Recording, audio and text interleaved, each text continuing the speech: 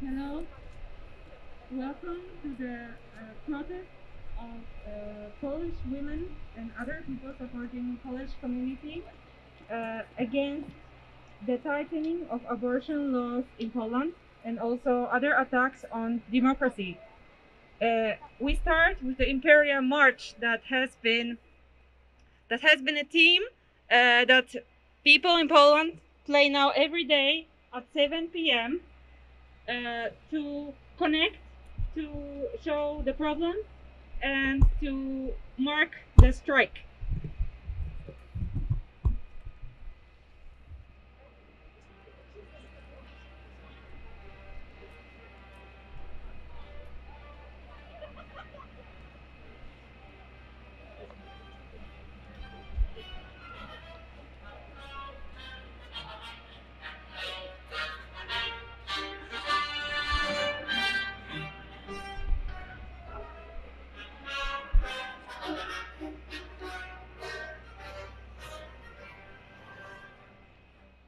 Gathered here today in order to protest.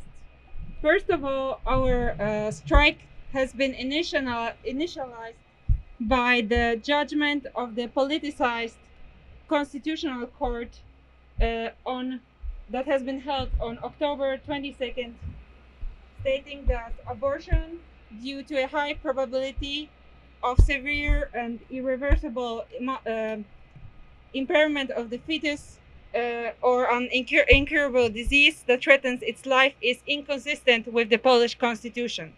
Such a decision is de facto banning all the abortions in Poland because other um, possibilities for the terminations of the pregnancy, that is in uh, situations of rape uh, or when the mother would die uh, in the result of the problems uh, these are not uh, so often uh, grounds for the abortion, and 98% of the terminations are exactly due to the dysfunctions, uh, malfunctions of the of the uh, of the fetus. So basically, uh, this is not yet law, but it will soon be uh, after this judgment will be public um, will be put into the publication in the Journal of Laws. So first of all, I wanted to tell you that we our protest here is peaceful. We do not want to. Uh, we are angry. We are very angry, but we do not want to uh, use forces, and we want to be here peacefully. And I think that's a very important statement because in Poland, Jarosław Kaczynski is in his uh, statement that has been published yesterday actually uh, encouraging people to use force uh, is actually um, kind of by his words provocating uh, the fight between our nation. We sadly see that our nation is divided.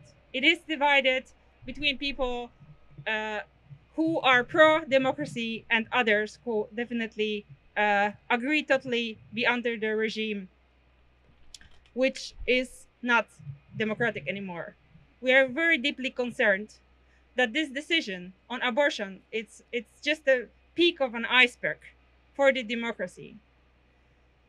As uh, I have been reading a lot of uh, sources in Polish about it, and I think one of the best uh, statements that I heard about this uh, judgment is from Elżbieta Korolczuk, the doctor of sociology, that said that actually this conversation uh, about abortion is not a discussion of whether I am for and against abortion, but whether who is deciding about it. Is this a government or is this the directly person uh, who is whose this decision is concerning? And I think that is uh, one of the most important uh, observations here that this whole discussion is not necessarily whether I am deciding uh, whether I'm pro-abortion or not, but whether I have a choice. So we are here pro that the woman can choose uh, what to do. We are here for women rights and uh, fundamental human rights. So this is a, a, dispute that is about the very essence of democracy. Uh, and there is no democracy when a minority, and here in Poland, it, we're talking about ultra Catholics uh, that is building the state only for itself and introduce, in, introduces such a closed system where actually uh, the rest has to adapt to it. Uh, and their moral choices as regards the family or the sexual life or whether they're having children or not is actually is actually uh, kind of dis disputable. Welcome everybody and thank you very much for your support that you are all here.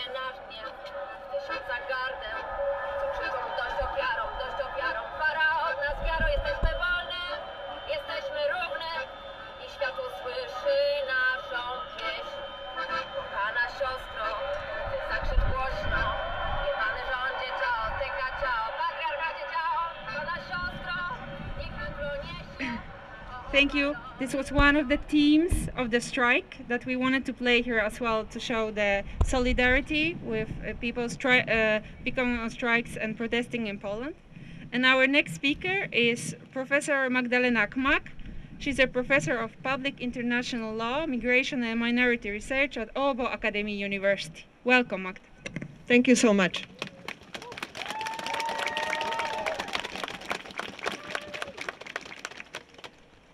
I'm speaking to you here from three positions as a woman, as a Polish and Finnish citizen, and as a professor of law. And as a law professor, I want to say this. This judgment introduced practically total ban of abortion. And through this, it violates women's rights, it violates human rights.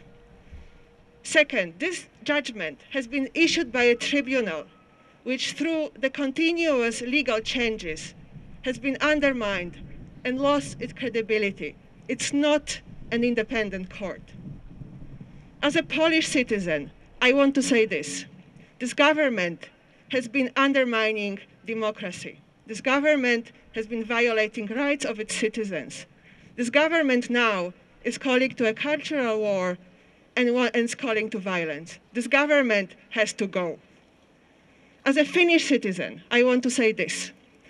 I urge this government to take this up in the international activities. This is extremely important for rights of women uh, in Europe and all around the world.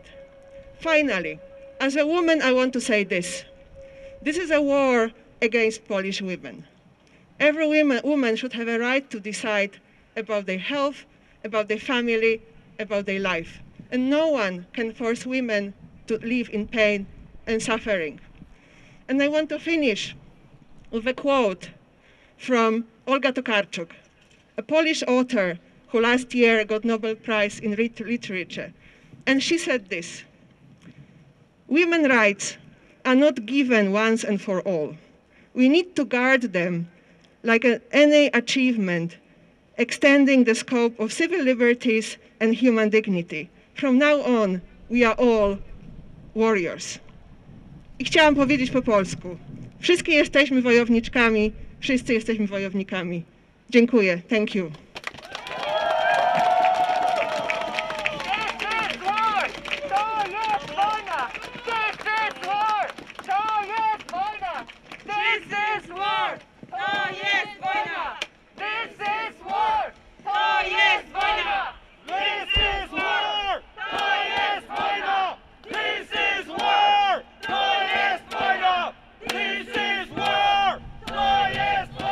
More cielo, much Bibor, my body, my choice.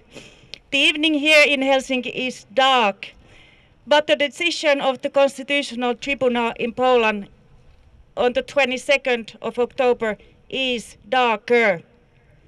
That day, the Constitutional Tribunal ruled that the abortion law of Poland would be unconstitutional. the tribunal decided that the access to abortion, including on the ground of severe fetal impairment, would become illegal. The decision made, as Magdalena has just pointed out, abortion practically impossible in Poland. And it would make the abortion legislation one of the most restricting ones anywhere in the world. The ruling is a blatant attack on women's rights, on sexual and reproductive rights, and on human rights. And we here, we know too well that women's rights are human rights, sexual, sexual and reproductive rights are human rights, and the rights of sexual and gender minorities are human rights, dear friends. Also, the rulers of any European Union member state know this very well, even if they try to blame otherwise for their own political interests. The night is windy as well. The tribunal decision and the ruling is ridiculous, regressive, but also cruel, and would impact lives of women in Poland uh, and put them at great risk. And it also would violate Poland's, Poland's obligations under international human rights treaties. These treaties oblige Poland to refrain from retrogressive, retrogressive measures that roll back women's rights um, to sexual and reproductive health care. Our colleague in Poland, uh, Foundation for Helsinki Foundation for Human Rights, Małgorzata Szuleka, a lawyer from peer organization, said last week in an interview, this is a totally unjustified decision that will lead to inhuman treatment of women. And she is absolutely right. The decision would lead to inhuman treatment both legally and morally, and it could be seen as torture. The judgment is another concrete manifestation of the ruling party's broader attempts to erode the rule of law and democratic principles in Poland. Moreover, the decision reflects the fact that the independence of the judiciary has been undermined. But we see you, we know what is going on. Let us stop this attack.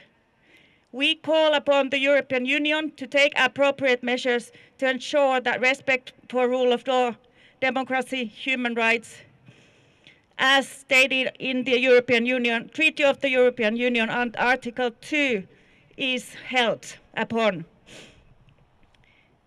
Dear ordinary people of Poland, dear activists on the street, we hear you, we salute you as you take bravely to the streets.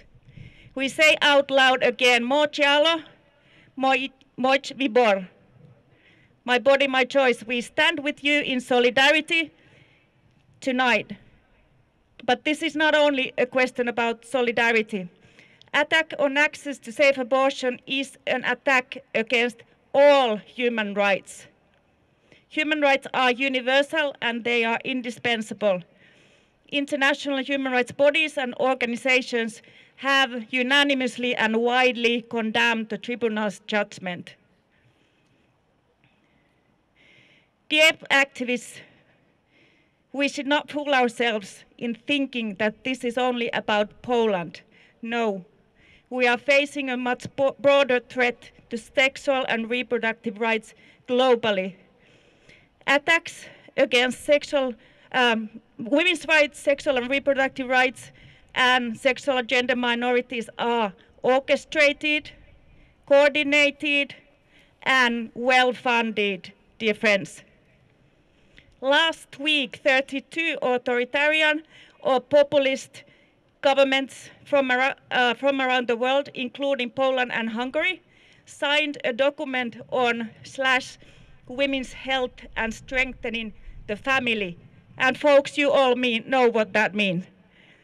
We, this, has, this document has no legal basis and is actually an attempt to undermine international consensus in support of sexual and reproductive health and rights.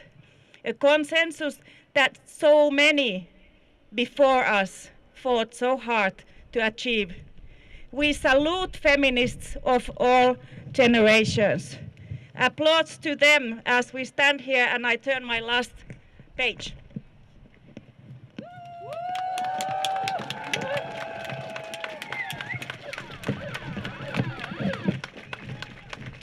I was asked to talk for 15 minutes, but I will end up a little bit earlier because you are bravely standing here in the wind.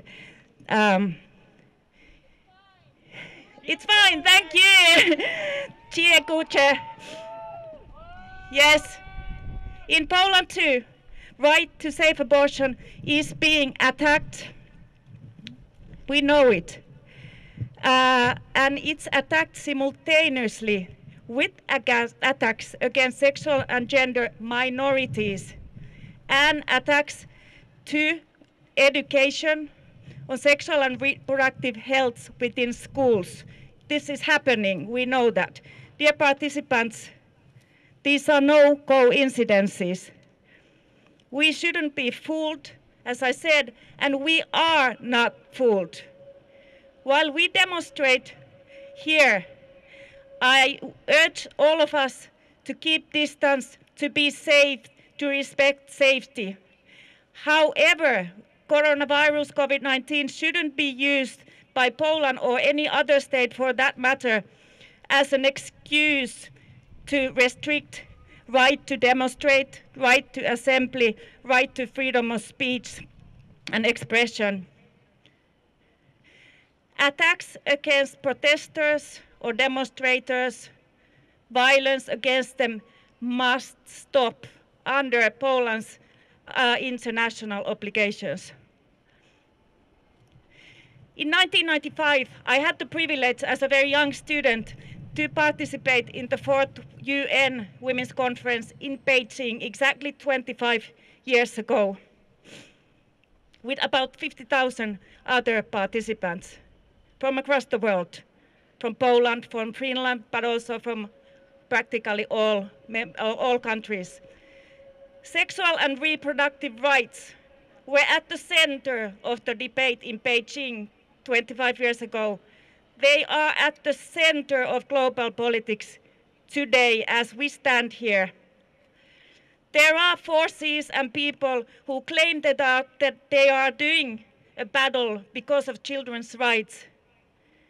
But history has shown yet and again that this is not, they are not promoting women's rights, nor children's rights, nor sexual and gender minorities' rights, but the opposite.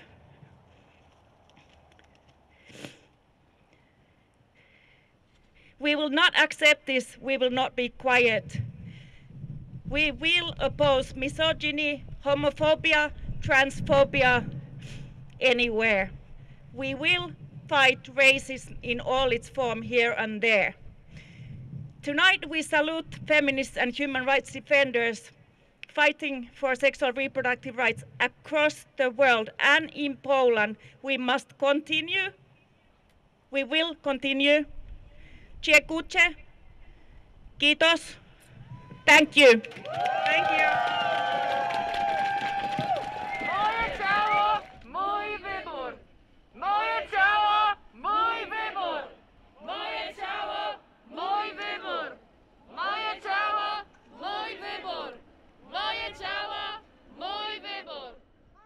Dear friends, four years ago, I stood on these same steps here in Senaatintori while the Black Friday protests erupted in Poland.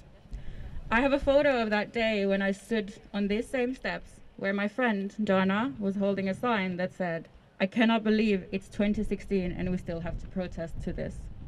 20 freaking 16. Three years ago, I sat around a table at an NGO office in Warsaw. Christina, the woman who sat opposed to me, told me that the previous week she had just helped a teenage girl who had been kicked from the backseat of a car, bleeding after an illegal back alley abortion had gone wrong. Christina told me the woman had been dumped on the street like a piece of meat or an experiment gone wrong. The night before our meeting with Christina, she told me her phone had rang in the middle of the night. Before picking up the call, she told me she already knew what it was about.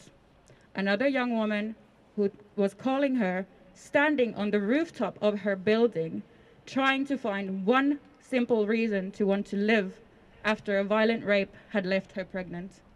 Christina spoke her out of it that night. One year ago, I faced hostile and homophobic comments from a Polish men's rights activist and leading politician as I was a guest speaker at a high level international meeting in Warsaw. Not only, he told me, I was not welcome in Poland as a feminist, but even less as a queer feminist. What I experienced that day was only a small taste of what the brave Polish women and queer community have to fight for against every single day. These three stories are not just once off stories. They are repetitive and a direct consequence of the Polish government's actions to restrict our reproductive rights and our right to a free and joyful life. The latest developments on Poland's abortion ban have sent hundreds of thousands of people to the streets, even during a pandemic. I want to acknowledge these protesters who now, also as we speak and stand here, are fighting, marching, and not giving up, not refusing to have their rights stripped from them. Their leaders, the men who are supposed to represent these people on the streets to protect their rights, have called these people looters and encouraged mobs to go attack them. Dear friends, we are all here because of a collective consciousness that we share, which is anchored in a yearning for freedom, happiness, and joy. I want to be a part of shaping and seeing a better future where meaningful connections, connections and human rights will pave the road towards the next generations and the future to come. I want my Polish brothers and sisters to thrive, not merely to survive. We have a lot to do. Our human rights have to be protected and our commitment to the work must be harder and more dedicated than ever before. All of us have to vote like our rights depend on it. Because as we can see, we are always, always only one election away from our fundamental rights being stripped away from us. As feminists, I call on each and every single one person here to commit to seeking justice beyond country lines. As an intersectional feminist, I call on everybody to make sure that the voices in the movement who far too long have been suppressed are now being heard and made central. As activists, politicians, journalists, bloggers, mothers, or single women, we must carry on the fight wherever we can. These age-old powers and forces that are trying to divide us might try to cut away all the flowers, but I'm telling you here today, they will not keep spring from coming. Let's keep fighting. Thank you.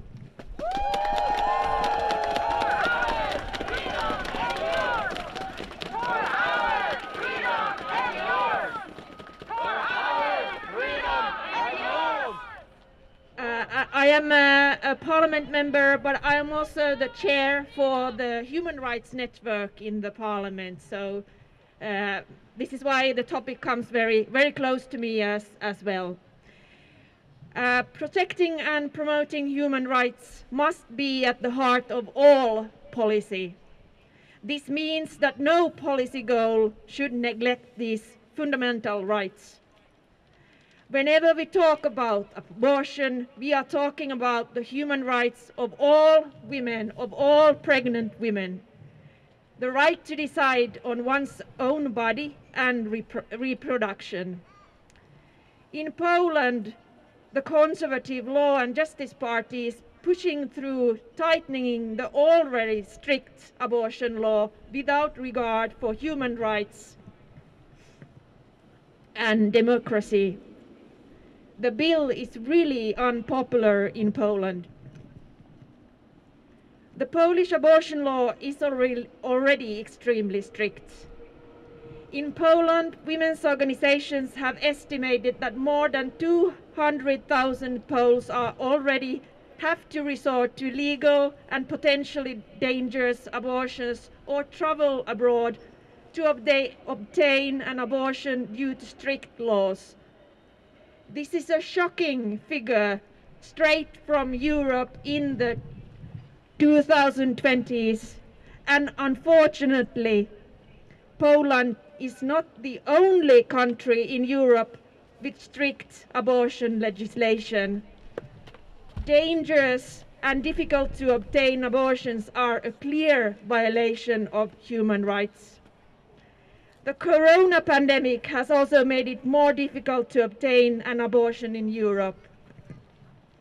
Especially in countries with strict legislation, it is clear that corona makes it difficult for a pregnant woman to travel or obtain medicine from other districts or countries. If safe abortion is not available domestically, human rights organizations have also been concerned about the lack of access to reproductive health services following staff redeployment due to the corona pandemic.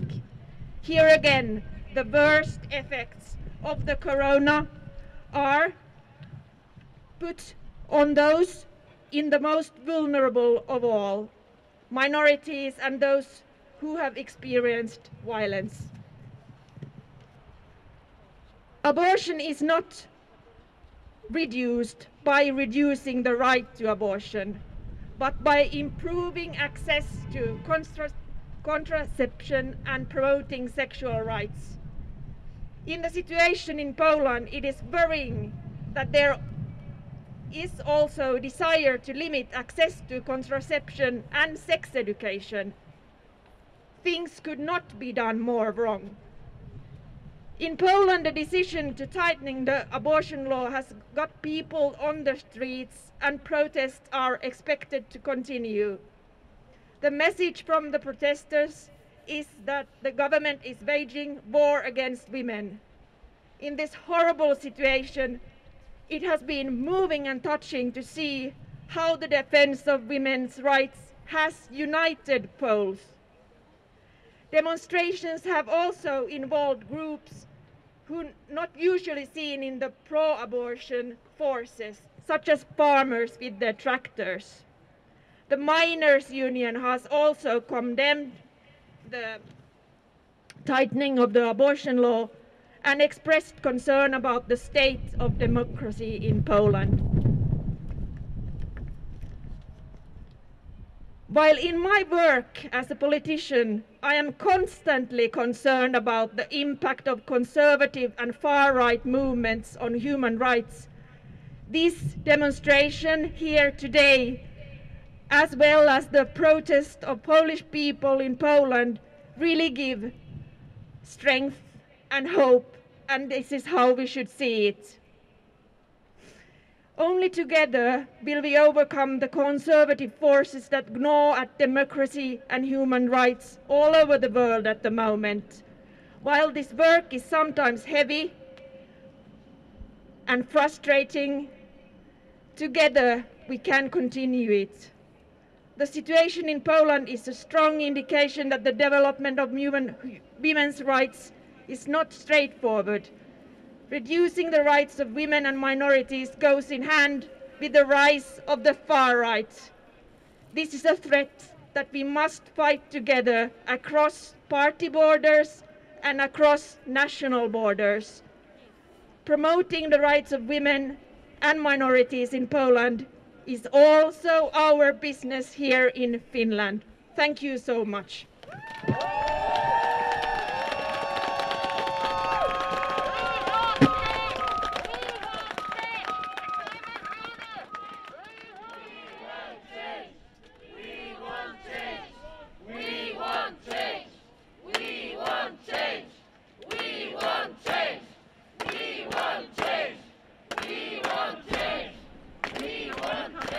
Our, our paper uh, is We were trying too long time.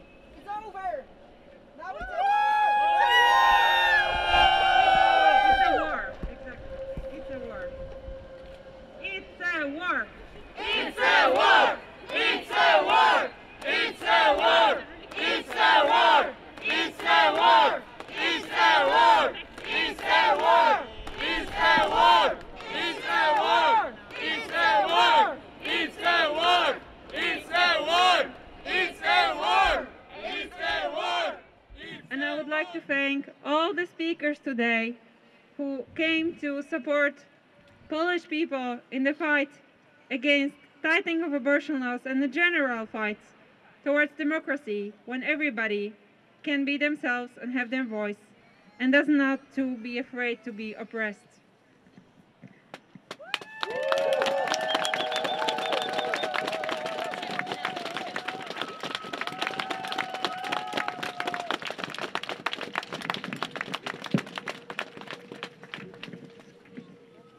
Uh, I would like to end this uh, meeting, the strike, with um a very, I think, uh, up to the point. Um, there has been opinion. So not all the. There were two judges actually that uh, uh, uh, put a dissenting opinion in, uh, for the for the judgment. And one of them was Professor Leon Kieres, who's actually very well known and uh, very uh, respected uh, scholar, law professor, who said that the law, contra- contrary to morality, in, its, in his dissenting opinion, he said that the law, contrary to morality, cannot oblige to heroism and formulate requirements that are impossible to be met by the average addressee. And I think that's what the law here is requiring, requiring people to be heroic. Uh, and it's everybody's own choice what they want to do in that kind of situation. So the problem here, as many speakers have spoken up, is also that there is no support for women. There are no psychologists. Uh, there are no places to put sick kids if they really decide to have such. There are no places uh, to make safe abortions.